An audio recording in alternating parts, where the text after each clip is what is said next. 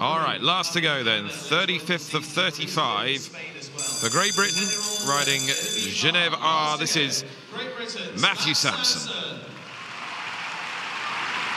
And Matt Sampson's got the plum draw, Andy.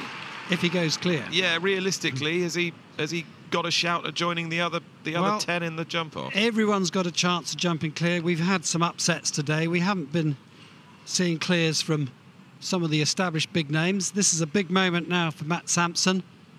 He's a hard-working rider. He goes all over the place, jumping internationally with a big string of horses. Here he is with a, great opportunity at this uh, London Horse Show.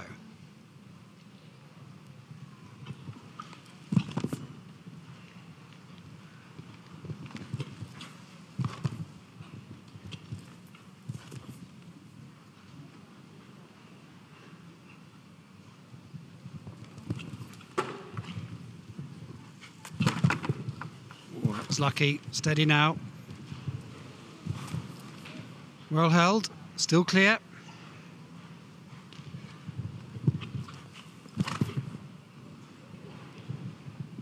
Just not very helpful when your horse bucks down a related distance, but he's just ignoring that, pressing on.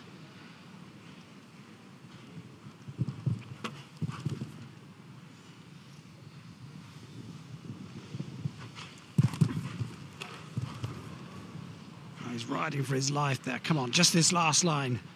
Can we get another clear for Britain? He's got two to go.